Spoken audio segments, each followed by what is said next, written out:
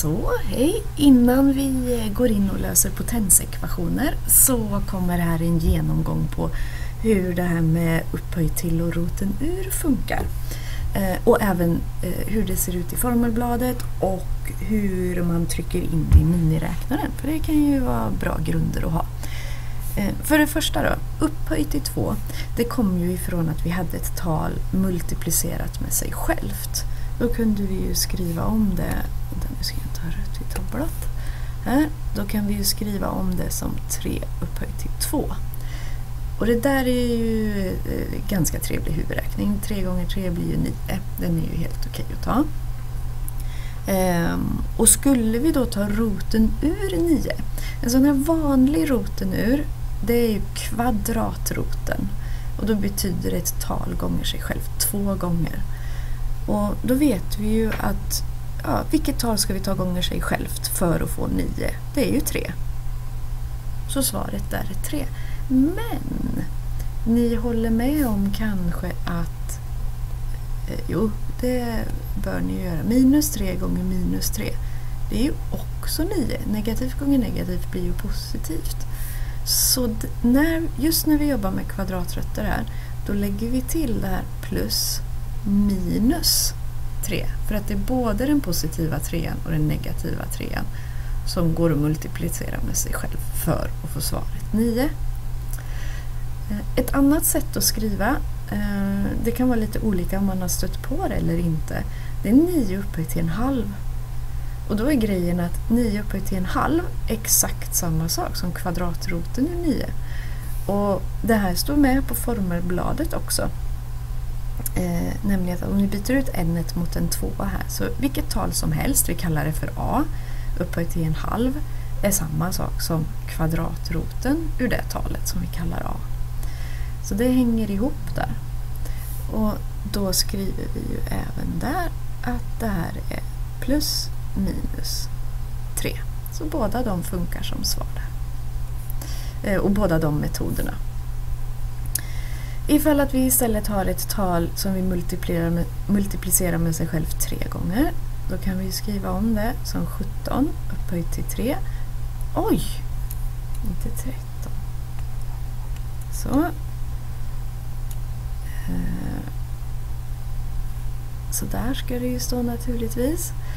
Och stoppar vi in det i miniräknaren så får vi att det blir 4913. Om man då istället vill göra tvärtom, om vi startar med 4913 och vill veta vad är tredje roten ur det, då kan man trycka in det i eh, miniräknaren och då blir ju det 17. Eh, och jag ska strax visa hur. Men det är ju exakt samma sak att säga att ta talet 4913 upphöjt till en tredjedel. Det är också 17. Så ni väljer vilket av de här sätten som ni tycker är smidigast att trycka in i miniräknaren. Det brukar man få en favorit och det är helt okej vilket som. Men backa tillbaks till formelbladet och ha koll på att de var samma sak. 10 potenserna, eh, det gillar vi ju allra bäst för de är oftast smidigast att förstå och räkna med.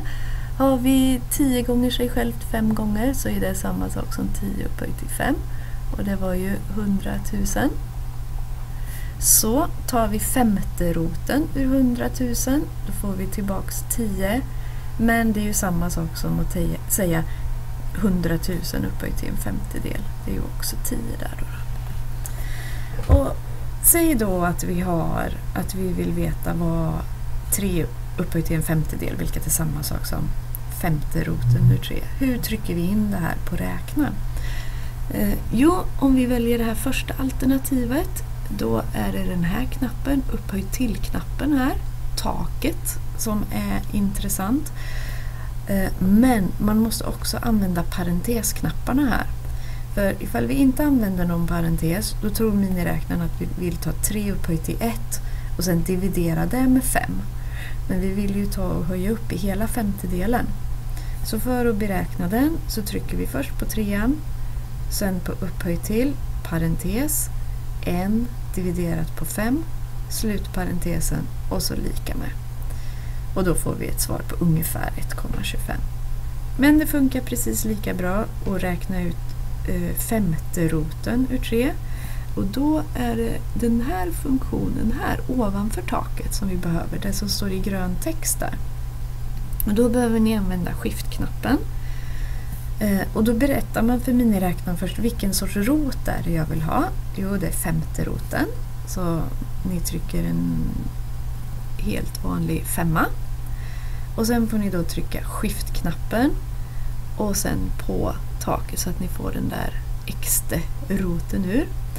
Och sen berättar ni att det är ju tre som ni vill ta den här femte roten ur och så lika med. Och då får ni också samma svar där.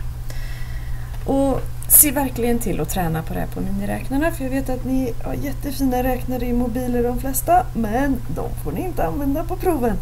Och då är det rätt törligt att inte ha koll på det när man kommer till eh, speciellt till nationella då, då.